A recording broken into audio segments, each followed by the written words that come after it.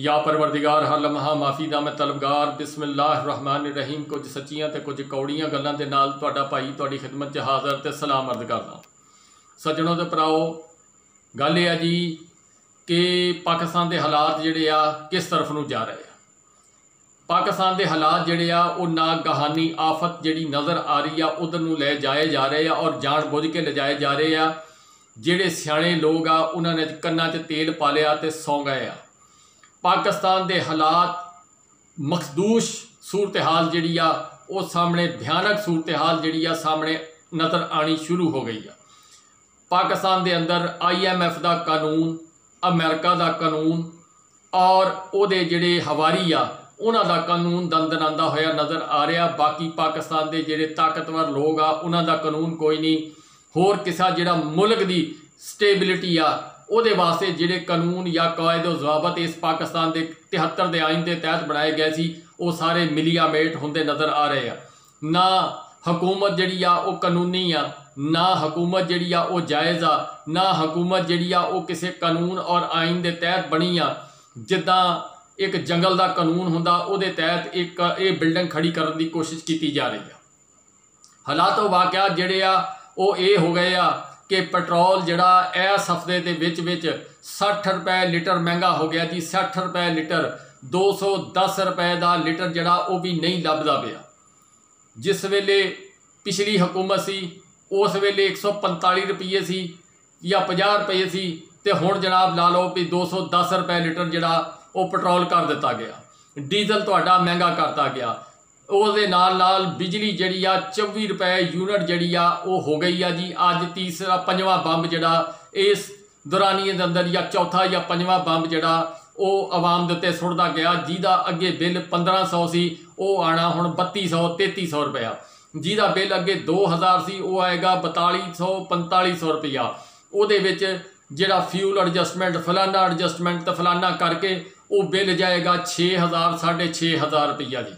ਇਸੇ ਤਰ੍ਹਾਂ ਹੀ ਆਟਾ ਮਹਿੰਗਾ ਹੋ ਗਿਆ ਜਨਾਬ। ਇਸੇ ਤਰ੍ਹਾਂ ਹੀ ਘੀ ਤੁਹਾਡਾ 200 ਸਵਾ 200 ਰੁਪਏ ਦੇ ਦਰਮਿਆਨ ਮਹਿੰਗਾ ਹੋ ਗਿਆ ਜੀ। ਇਸੇ ਤਰ੍ਹਾਂ ਹੀ ਜਨਾਬ, ਜਿਹੜਾ ਵਾ ਦਾਲਾਂ ਤੁਹਾਡੀਆਂ ਮਹਿੰਗੀਆਂ ਹੋ ਗਈਆਂ। ਇਸੇ ਤਰ੍ਹਾਂ ਹੀ ਜਨਾਬ ਤੁਹਾਡੇ ਜਿਹੜੇ ਆਟਾ ਵਾ ਉਹ ਮਹਿੰਗਾ ਹੋ ਗਿਆ। ਇਸੇ ਤਰ੍ਹਾਂ ਹੀ ਬਾਕੀ ਅਸ਼ਿਆਏ ਖੁਰਦੋਨੋਸ਼ ਜਿਹੜੀਆਂ ਅਚਾਨਕ ਉਹਨਾਂ ਨੂੰ ਪਰ ਲੱਗ ਗਏ। ਮੁਰਗੀ ਤੁਹਾਡੀ ਮਹਿੰਗੀ ਹੋ ਗਈ। ਇਸੇ ਤਰ੍ਹਾਂ ਹੀ ਜਨਾਬ, ਬਾਕੀ ਜਿਹੜੇ ਕਪੜਾ ਮਹਿੰਗਾ ਹੋ ਗਿਆ, ਜੁੱਤੀ ਮਹਿੰਗੀ ਹੋ ਗਈ, ਜਿਹੜੀਆਂ ਬਾਹਰੋਂ ਚੀਜ਼ਾਂ ਅੱਗੇ ਕੋਈ ਆ ਰਹੀਆਂ ਸੀ, ਉਹਨਾਂ ਦੇ ਕਿਰਾਏ ਵੱਧ ਗਏ, ਉਹ ਚੀਜ਼ਾਂ ਵੀ ਮਹਿੰਗੀਆਂ ਹੋ ਗਈਆਂ, ਮੁਲਕ ਦੇ ਅੰਦਰ ਅਫਰਾ ਤਫਰੀ ਦਾ ਮਕਾਮ ਪੈਦਾ ਹੋ ਗਿਆ ਜੀ। ਔਰ ਪੈਟਰੋਲ ਜਿਹੜਾ ਉਹ ਨਾਪਾਇਦ ਹੋ ਗਿਆ ਪਾਕਿਸਤਾਨ ਦੇ ਅੰਦਰ, ਜਿਹੜੇ ਪੈਟਰੋਲ ਪੰਪਾਂ ਵਾਲੇ ਮਾਲਕਾਨ ਆ, ਉਹ ਦੇ ਹੀ ਨਹੀਂ ਰਹੇ ਜੀ। ਉਹ ਕਹਿੰਦੇ ਵੀ ਸਾਡੇ ਕੋਲ ਤੇਲ ਹੀ ਹੈ ਨਹੀਂ, ਦੇ ਕਿੱਥੋਂ ਦੇਈਏ ਜੀ। ਉਹਨਾਂ ਨੂੰ ਵੀ ਆਪਣਾ ਦਿਸਦਾ ਵਾ ਕਿ ਰਾਤੋਂ ਰਾਤ ਜਿਹੜਾ ਵੀ ਲੱਖ ਲਾਇਆ ਤੇ 60000 62000 ਨਾਲ ਜੁੜਨਾ ਵਾ, ਉਹ ਪਾਗਲ ਆ ਜੀ। ਉਹ ਆਵਾਮ ਨੂੰ ਦੇਖਣ ਜਾਂ ਆਪਣੇ ਮੁਨਾਫੇ ਨੂੰ ਦੇਖਣ ਪਾਕਿਸਤਾਨ ਦੇ ਤੇ ਪੈਸਾ ਜਿਹੜਾ ਵਾ ਸਭ ਤੋਂ ਅਵਲ ਜਿਹੜਾ ਉਹ ਪੈਸਾ ਵਾ دین ਤੁਹਾਡਾ ਪੈਸਾ ਈਮਾਨ ਤੁਹਾਡਾ ਪੈਸਾ ਆਵਾਮ ਦਾ ਮਸਾਇਲ ਜਿਹੜੇ ਆ ਉਹਨੂੰ ਹੱਲ ਕਰਨਾ ਜਿਹੜਾ ਉਹ ਕੋਈ ਜ਼ਰੂਰੀ ਨਹੀਂ ਇੱਕ ਆ ਜਿਹੜੀ ਲੋਡ ਸ਼ੈਡਿੰਗ ਆ ਆਮ ਸ਼ਹਿਰ ਦੇ ਅੰਦਰ ਜਿਹੜੇ ਸ਼ਹਿਰ ਆ ਉਹਦੇ ਚ 8 ਤੋਂ 9 ਘੰਟੇ 10 ਘੰਟੇ ਆ ਤਾਂ ਪਿੰਡਾਂ ਥਾਵਾਂ ਦੇ ਅੰਦਰ 12 ਤੋਂ 14 ਘੰਟੇ 15 ਘੰਟੇ ਜਿਹੜੀ ਬਿਜਲੀ ਆ ਬੰਦ ਕੀਤੀ ਜਾ ਰਹੀ ਆ ਗਰਮੀ ਇੰਤਹਾਈ ਸ਼ਦੀਦ ਆ ਇਹ ਸਾਰਾ ਨਿਜ਼ਾਮ ਤਲਪਟ ਹੋ ਗਿਆ। ਔਰ ਇੱਕ ਮੂਡੀਜ਼ ਦੀ ਖਬਰ ਦੇ ਮੁਤਾਬਕ ਪਾਕਿਸਤਾਨ ਦੀ ਗਰੋਥ ਅੱਜ ਤੋਂ 2 ਮਹੀਨੇ ਪਹਿਲੇ ਪਲੱਸ ਦੇ ਵਿੱਚ ਸੀ। ਅੱਜ ਦੀ ਰਿਪੋਰਟ ਦੇ ਮੁਤਾਬਕ ਜਿਹੜੀ ਆ ਤਾਜ਼ਾ ਹੁਣ ਆਈ ਆ, ਮਤਲਬ ਕੱਲ ਆਈ ਆ ਜੀ, ਉਹਦੇ ਉੱਤੇ ਉਹ ਉਹਨਾਂ ਨੇ ਪਾਕਿਸਤਾਨ ਦਾ ਜਿਹੜੀ ਰੇਟਿੰਗ ਆ, ਉਹ ਮਾਈਨਸ ਦੇ ਵਿੱਚ ਪਾ ਦਿੱਤੀ ਆ। ਪਾਕਿਸਤਾਨ ਦੇ ਫੋਰਨ ਰਿਜ਼ਰਵ ਜਿਹੜੇ ਆ, ਉਹਦੀ ਪੋਜੀਸ਼ਨ ਜਿਹੜੀ ਆ, ਨਹਾਇਤ ਖਤਰਨਾਕ ਤਰੀਕੇ ਦੀ ਸੂਰਤ-ਹਾਲ ਅਖਤਿਆਰ ਕਰ ਗਈ ਆ। ਯਾਨੀ ਜਿਸ ਵੇਲੇ ਇਮਰਾਨ ਖਾਨ ਸਾਹਿਬ ਹਕੂਮਤ ਛੱਡ ਕੇ ਗਏ ਸੀ 22 ਅਰਬ ਡਾਲਰ ਖਜ਼ਾਨੇ ਦੇ ਵਿੱਚ ਮੌਜੂਦ ਸੀ।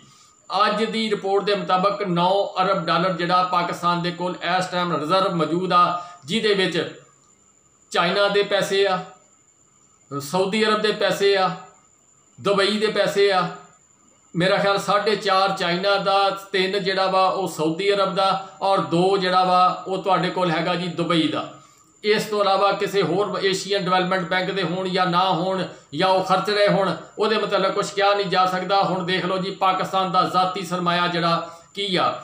ਵਜ਼ੀਰ ਆਜ਼ਮ ਸਾਹਿਬ ਜਿਹੜੇ ਆ, ਉਹ ਤੁਰਕੀ ਗਏ ਆ। ਉਹਨਾਂ ਨੇ ਜਨਾਬ ਬੜਾ ਪਿਆਰ ਨਾਲ ਸ਼ਰਬਤ ਠੰਡੇ ਫਾਲਸੇ ਦੇ ਪਲਾਏ ਆ, ਪਲਾ ਕੇ ਖਿਦਮਤ ਕੀਤੀ ਆ, ਚਰਗੇ ਰੋਸਟ ਬਰੋਸਟ ਮੁਰਗਾਬੀਆਂ ਖਲਾਈਆਂ। ਖਲਾਣ ਤੋਂ ਬਾਅਦ ਉਹਨਾਂ ਨੇ ਕਿਹਾ ਜੀ ਅੱਲਾ ਤੁਹਾਡਾ ਭਲਾ ਕਰੇ, ਖੈਰ ਹੋਵੇ। ਚਲੋ, ਪਹੁੰਚੋ ਪਿੰਡ ਤੇ ਤੁਹਾਨੂੰ ਤਾਰ-ਸ਼ਾਰ ਪਾਣੇ ਆ। ਉਹਨਾਂ ਨੇ ਕਿਹਾ ਜੀ, ਸਾਡੇ ਹਜੇ ਹਾਲਾਤ ਹੀ ਨਹੀਂ ਹੈਗੇ, ਅਸੀਂ ਆਪ ਕ੍ਰਾਈਸਿਸ ਦਾ ਸ਼ਿਕਾਰ ਆ ਤੇ ਤੁਸੀਂ ਜ- ਫਿਰ ਕਿਤੇ ਅਗਲੀ ਈਦ ਤੇ ਆਣਾ ਤੇ ਫਿਰ ਦੇਖਾਂਗੇ ਕੋ ਸਾਡਾ ਕੋ ਉਤ- ਉਤਰਨ ਸੁਤਰਨ ਜਿਹੜਾ ਉਹ ਹੋਇਆ, ਕੋ ਸਦਕੇ ਖੈਰਾਤ ਦੇ ਵਿੱਚ ਤੁਹਾਨੂੰ ਕੋ ਪੈਸੇ ਦੇ ਦਿਆਂਗੇ। ਇਹ ਆ ਜੀ ਪਾਕਿਸਤਾਨ ਦੀ ਸੂਰਤ-ਹਾਲ ਜਿਹੜੇ ਪਾਕਿਸਤਾਨ ਦੇ ਬੜੇ ਬੜੇ ਜਿਹੜੇ ਇਨਵੈਸਟਰ ਦਾ ਉਹਨਾਂ ਦੀਆਂ ਐਲਸੀਆਂ ਜਿਹੜੀਆਂ ਉਹ ਉਹਨਾਂ ਨੂੰ ਬਾਹਰ ਐਕਸੈਪਟ ਨਹੀਂ ਕੀਤਾ ਜਾ ਰਿਹਾ, ਉਹਦੀ ਵਜ੍ਹਾ ਉਹ ਕਹਿੰਦੇ ਕਿ ਅਸੀਂ ਤੁਹਾਡੇ ਨਾਲ ਕੋਈ ਕਾਰੋਬਾਰ ਕਰ ਲਈਏ ਤੇ ਸੂਰਤ-ਹਾਲ ਜਿਹੜੀ ਆ ਉਹ ਇਹ ਆ ਕਿ ਤੁਹਾਡਾ ਖਜ਼ਾਨਾ ਹੀ ਖਾਲੀ ਹੋ ਗਿਆ।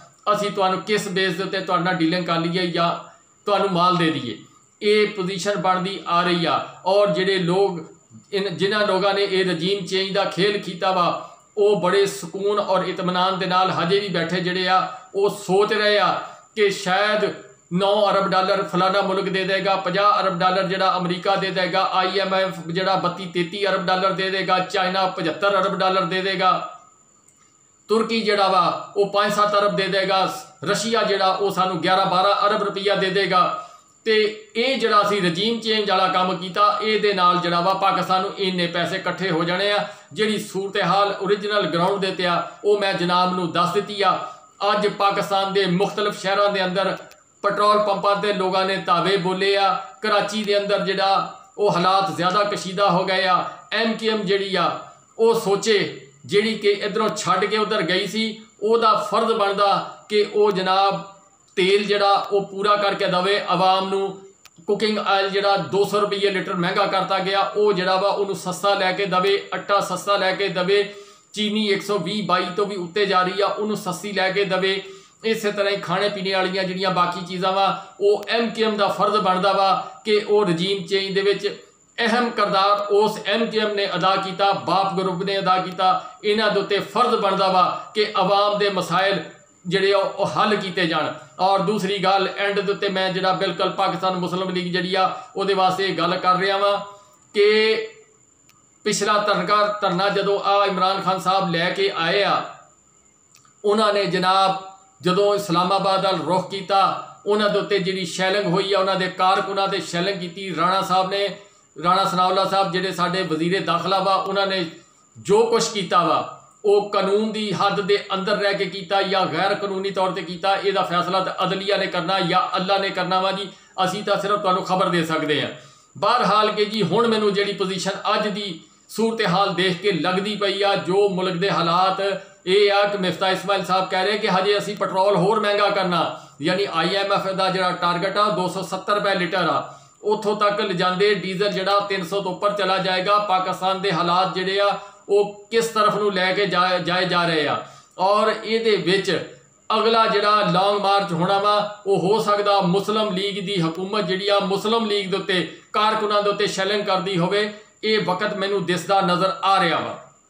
ਬਹਰਹਾਲ ਕਿ ਜੀ ਇੱਕ ਬਰੀਕ ਵਾਰਦਾਤ ਹੋਰ ਪਾਉਣ ਦੀ ਕੋਸ਼ਿਸ਼ ਕੀਤੀ ਜਾ ਰਹੀ ਆ ਕਿ ਫਾਟਾ ਦੇ ਜਿਹੜੇ ਇਲਾਕੇ ਜ਼ਮ ਕੀਤੇ ਗਏ ਸੀ ਕੇਪੀਕੇ ਦੇ ਅੰਦਰ, ਉਹਦੇ ਤਹਿਤ ਉਹ ਕਿੱਥੋਂ ਹੁਕਮ ਆਇਆ? ਉਹਦੇ ਤਹਿਤ ਜ਼ਰਾਏ ਦੇ ਮੁਤਾਬਕ ਖਬਰ ਆ ਜੀ ਕਿ ਤਾਲਬਾਨ ਨਾਲ ਮਜ਼ਾਕਰਾਤ ਕੀਤੇ ਜਾ ਰਹੇ ਆ ਕਿ ਉਹਦੀ ਜਿਹੜੀ ਪੁਰਾਣੀ ਸੂਰਤ-ਹਾਲ ਆ, ਉਹਦੇ ਤਹਿਤ ਉਹਨਾਂ ਨੂੰ ਉਹਨਾਂ ਨਾਲ ਜਾਂ, ਕੀਤਾ ਜਾਵੇ ਜਾਂ ਜੋ ਵੀ ਉਹਦਾ ਤੀਆ ਪਾਂਚਾ ਕੀਤਾ ਜਾਵੇ, ਇਹ ਨਹਾਇਤ ਖਤਰਨਾਕ ਸੂਰਤ-ਹਾਲ ਜਿਹੜੀ ਸਾਹਮਣੇ ਆਣੀ ਸ਼ੁਰੂ ਹੋ ਗਈ ਆ। ਕਿ ਇਮਰਾਨ ਖਾਨ ਸਾਹਿਬ ਤੇ ਤੇ ਇਲਜ਼ਾਮ ਲਾਇਆ ਜਾ ਰਿਹਾ ਸੀ ਕਿ ਉਹ ਜਨਾਬ ਪਾਕਿਸਤਾਨ ਦੇ ਤਿੰਨ ਟੁਕੜੇ ਕਰਨੇ ਚਾਹੁੰਦੇ ਆ। ਲੇਕਿਨ ਆ ਜਿਹੜੀ ਖਬਰ ਪਹੁੰਚੀ ਆ, ਇਹ ਹਜੇ ਕਨਫਰਮ ਜਿਹੜੀ ਆ ਕੁਝ ਟਵੀਟ ਆਏ ਆ ਉਹਨਾਂ ਇਲਾਕਿਆਂ ਦੇ ਐਮਐਨਏ ਐਮਪੀਏ ਦੇ। ਇਹ ਹੁਣ ਪਤਾ ਲੱਗੇਗਾ ਜੀ, ਇਹਦੀ ਤਫਸੀਲਾਤ ਆਣਗੀਆਂ ਤਾਂ ਤੁਹਾਡੇ ਨਾਲ ਸ਼ੇਅਰ ਕਰਨ ਦੀ ਕੋਸ਼ਿਸ਼ ਕਰਾਂਗੇ। ਇਸੇ ਤਰ੍ਹਾਂ ਹੀ ਜਿਹੜਾ ਸੀ ਪੈਕ ਦੀ ਪੋਜੀਸ਼ਨ ਆ, ਉਹਨੂੰ ਚੇਂਜ ਕੀਤੀ ਜਾ ਰਹੀ ਆ। ਇਸੇ ਤਰ੍ਹਾਂ ਹੀ ਭਾਰਤ ਦੇ ਨਾਲ ਤਜਾਰਤ ਵਾਸਤੇ ਬਹੁਤ ਜ਼ੋਰ ਲਾਇਆ ਜਾ ਰਿਹਾ ਅਮਰੀਕਾ ਨੂੰ ਕਿ ਤੁਸੀਂ ਜਨਾਬ ਜਿਹੜੀ ਚੀਜ਼ਾਂ ਜਿਹੜੀਆਂ ਵਾ ਉਹ ਭਾਰਤ ਕੋ ਖਰੀਦੋ, ਭਾਰਤ ਤੁਹਾਡੇ ਕੋ ਖਰੀਦੇ ਜਾਂ ਨਾ ਖਰੀਦੇ, ਉਹ ਉਹਦੀ ਮਰਜ਼ੀ ਆ। ਤੁਹਾਡੇ ਤੇ ਸਾਡੀ ਪਾਬੰਦੀ ਆ ਕਿ ਤੁਸੀਂ ਜਿਹੜੀਆਂ ਚੀਜ਼ਾਂ ਵਾ, ਉਹ ਗੰਦਮ ਸ਼ੰਦਮ ਜਾਂ ਜੋ ਵੀ ਫਰਟੀਲਾਈਜ਼ਰ ਜਾਂ ਜੋ ਸਬਜ਼ੀ, ਪਿਆਜ਼, ਆਟਾ, ਦਾਲ, ਉਹ ਤੁਸੀਂ ਭਾਰਤ ਕੋ ਮੰਗਾਓ ਤੇ ਆਪਣੇ ਕਿਸਾਨ ਜਿਹੜੇ ਆ, ਉਹਨਾਂ ਨੂੰ ਤੁਸੀਂ ਕੁਰਬਾਨੀ ਦਾ ਬੱਕਰਾ ਬਣਾ ਕੇ ਜਿਸ ਤਰ੍ਹਾਂ ਅੱਗੇ ਉਹ ਬਣੇ ਰਹੇ ਆ, ਉਸੇ ਤਰ੍ਹਾਂ ਹੀ ਬਣਾਤਾ ਜਾਵੇ। ਇਹ ਆ ਜੀ ਪੋਜੀਸ਼ਨ ਮੁਲਕ ਦੀ, ਇਹਦੇ ਤੇ ਮਜ਼ੀਦ ਜਿੰਨੀ ਮਰਜ਼ੀ ਗੱਲ ਕਰ ਲਵਾਂ, ਗੱਲ ਲੰਬੀ ਹੁੰਦੀ ਜਾਂਦੀ ਆ। ਹਾਲਾਤ ਉਹ ਵਾਕਿਆ ਜਿਹੜੇ ਪਾਕਿਸਤਾਨ ਦੇ ਉਹ ਖਰਾਬੀ ਵੱਲ ਜਾ ਰਹੇ ਆ ਔਰ ਜਿਹੜੇ ਲੋਕ ਜਿਨ੍ਹਾਂ ਨੇ ਫੈਸਲਾ ਕੀਤਾ, ਉਹ ਲੋਕ ਜਿਹੜੇ ਆ, ਉਹ ਹਜੇ ਮੈਨੂੰ ਨਜ਼ਰ ਨਹੀਂ ਆਂਦਾ ਉਹ ਇਸੇ ਚੱਕਰ 'ਚ ਬੈਠੇ ਆ ਕਿ ਇਮਰਾਨ ਖਾਨ ਜਿਹੜਾ ਵਾ, ਉਹ ਜਿਹੜਾ ਵਾ, ਉਹਨੂੰ ਦੁਬਾਰਾ ਨਹੀਂ ਆਣਾ ਚਾਹੀਦਾ। ਜਦੋਂ ਜਿਹੜਾ ਕਿ ਤੁਹਾਡੇ ਮੈਂ ਦੱਸ ਚੁੱਕਿਆ ਵਾਂ ਕਿ ਇੱਕ ਵਾਰੀ ਫੇਰ ਦੱਸ ਦੇਣਾ ਕਿ ਜਿਹੜਾ ਉਹ ਮੂਡੀਜ਼ ਆ ਉਹਨਾਂ ਨੇ ਪਾਕਿਸਤਾਨ ਦੀ ਮਈਸ਼ਤ ਜਿਹੜੀ ਅੱਜ ਤੋਂ 2 ਮਹੀਨੇ ਦੇ ਲਈ ਪਹਿਲੇ ਉਹ ਪਲੱਸ ਦੇ ਵਿੱਚ ਕਰਾਰ ਦਿੱਤੀ ਸੀ, ਅੱਜ ਜਿਹੜੀ ਉਹ ਮਾਈਨਸ ਕਰਾਰ ਦਿੱਤੀ ਆ। ਔਰ ਇਸੇ ਤਰ੍ਹਾਂ ਹੀ ਮੁxtਲਫ ਚੀਜ਼ਾਂ ਜਿਹੜੀਆਂ ਵਾ, ਜਿਹੜੀਆਂ ਇਮਰਾਨ ਖਾਨ ਦੇ ਦੌਰ ਦੇ ਵਿੱਚ ਬਿਹਤਰੀ ਵੱਲ ਜਾ ਰਹੀਆਂ ਸੀ, ਉਹ ਰਿਵਰਸ ਹੋਣੀਆਂ ਸ਼ੁਰੂ ਹੋ ਗਈਆਂ। ਤੁਰਕੀ ਜਿਹੜਾ ਵਾ, ਉਹ ਉਹਦੀ ਸੂਰਤ-ਹਾਲ ਤੁਹਾਡੇ ਸਾਹਮਣੇ ਤੁਹਾਨੂੰ ਮੈਂ ਬਿਆਨ ਕਰ ਦਿੱਤੀ ਆ। ਇਹ ਪਾਕਿਸਤਾਨ ਦੇ ਹਾਲਾਤ, ਪਾਕਿਸਤਾਨ ਦੇ ਵਾਕਿਆਤ ਆ ਜੀ, ਇਹਦੇ ਤੇ ਹੁਣ ਗੌਰ ਕਰ ਲਓ ਕਿ ਮੁਲਕ ਜਿਹੜਾ ਕਿਸ ਤਰਫ ਨੂੰ ਜਾ ਰਿਹਾ ਵਾ। ਅੱਲਾਹ ਤਾਲਾ ਸਲਾਮਤ ਰੱਖੇ, ਪਾਕਿਸਤਾਨ ਨੂੰ ਜੀ। ਬਹਰਹਾਲ ਕੇ ਜਿਹੜੇ ਸਿਆਣੇ ਲੋਕ ਆ, ਮੇਰੀ ਸਮਝੋ ਬਾਹਰ ਆ ਜੀ, ਉਹ ਕੀ ਸੋਚ ਰਹੇ ਆ ਔਰ ਇਸ ਮੁਲਕ ਦਾ ਅੰਜਾਮ ਕਿੱਧਰ ਨੂੰ ਲਿਜਾਣਾ ਚਾਹੁੰਦੇ?